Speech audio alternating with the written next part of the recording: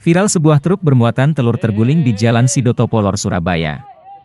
Akibat dari kejadian ini terlihat warga memungut telur-telur yang pecah, truk bernopol EB8342BL dikemudikan oleh Roy itu milik ekspedisi Restu Jaya yang mengangkut 28 ton telur. Peristiwa itu bermula saat truk melintas di Jalan Raya Sidotopolor Surabaya dari gudang Jalan Kenjeran dengan tujuan Pelabuhan Jamrud.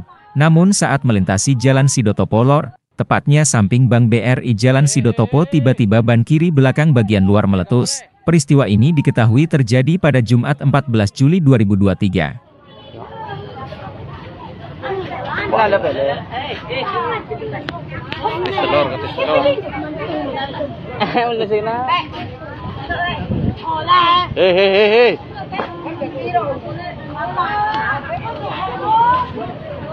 Terima kasih sudah nonton.